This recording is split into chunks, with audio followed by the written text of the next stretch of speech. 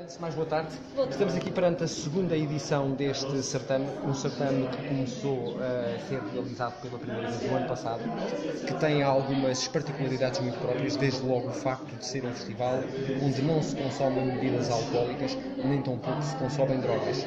Isto é quase que uma marca muito distintiva em relação a muitos outros festivais que vão ocorrendo um pouco pelo país. Sim, sim, que nós queremos mesmo afirmar isto de forma a conseguirmos trazer mais eh, número de pessoas, mais número de famílias, como, como eu estava a dizer. E, e foi um feedback que nós recebemos do ano passado. Eh, este é uma das características, o festival também é to- totalmente hum, vegano, neste, neste caso, nós estamos a fazer vegano, nem, nem vegetariano, não temos nenhum produto animal. Eh, isso é outra característica, mas demos mais destaque a esta realmente por ser um- uma maior diferença entre outros festivais que estejam a acontecer. Eh, Vocês têm feito uma, uma aposta de interação com as, pessoas- com as pessoas da região Sim. e este, este ano parece que a aposta ainda é mais forte, no sentido, digamos, de captar um público que está mais perto de vocês para, para perceber o- qual é o vosso projeto e como é que vai, como é que vão desenvolvê-lo. É assim. Uhum. Este ano também tivemos uma facilidade maior, temos, temos o apoio da Câmara Municipal da Covilhã, que também nos está a ajudar a divulgar mais aqui na zona. O ano passado estávamos, estávamos sozinhos ainda e, e queremos chegar a mais pessoas. Queremos- já descobrimos, agora no fim de termos o programa eh, fechado, descobrimos muitos mais projetos musicais e artísticos aqui da região que gostaríamos de inserir e que já estão em lista de espera para o ano, porque realmente há tanta oferta aqui na região, é, é- está a ser muito, muito bom também saber isso e conhecer. Estamos perante um evento que, e vai-me desculpar o à vontade, não é uma aventura, é algo que chegou Não, para criar é, raízes. É para ficar, é para ficar. E Já se fala, já se fala no futuro, então Sim, sim, sim, sim, já estamos sempre a pensar no próximo ano e nas, eh, nas eh, melhorias que podemos fazer e as alterações que podemos fazer. Das novidades deste ano, Uhum. quais são as principais que destaca? Então, temos uma área de crianças fantástica, como viram ali pelas fotos. Temos finalmente uma zona de recreio para crianças, onde vamos ter programa de crianças. Já o ano passado tínhamos, mas esta zona está melhor eh, desenvolvida. Temos uma casa na árvore, temos balões, temos um escorrega e vamos ter sempre alguém especializado eh, com crianças para fazer eh, programas. E também teremos pessoas daqui da região temos aulas de yoga para crianças com professoras aqui da região e, e outros projetos aqui ligados a crianças que também são de cá, são do Fundão e da Covilhã e vão estar lá connosco.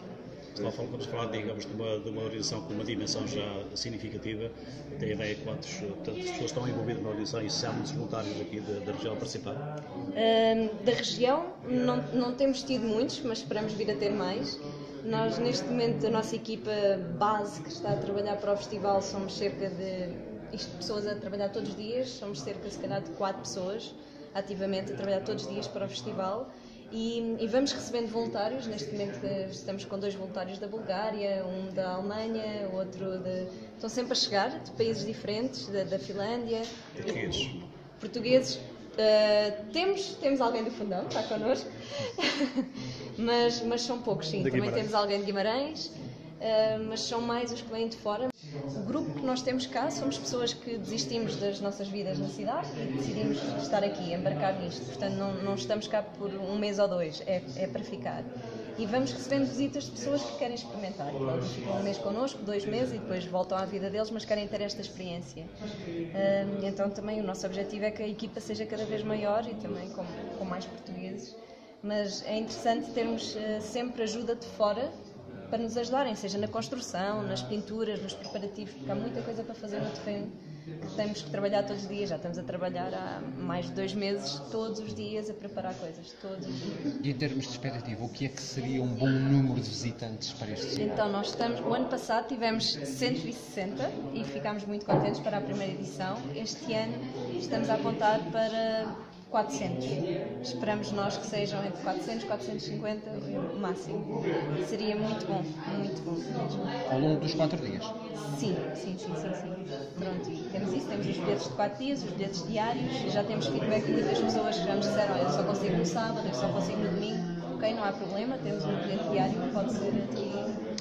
Para além de, de, digamos, daquilo que, que eu disse, em termos de oferta para as famílias Uhum. portanto, preços mais, mais há outro tipo de estruturas eh, para as famílias ou, ou? Uh, temos também uma zona de campismo mais dedicada às famílias para poderem ficar. uh, também foi um pedido que recebemos o ano passado. Pessoas com crianças mais pequenas uh, sentiam que não, não queriam incomodar as outras pessoas, porque às vezes as crianças choram e então queriam. Então vamos ter uma zona de campismo uh, separada para eles e lá está o pack de, de desconto. Temos um pack de desconto caso seja um, um pai e uma mãe com um filho, ou com dois filhos, ou com três filhos.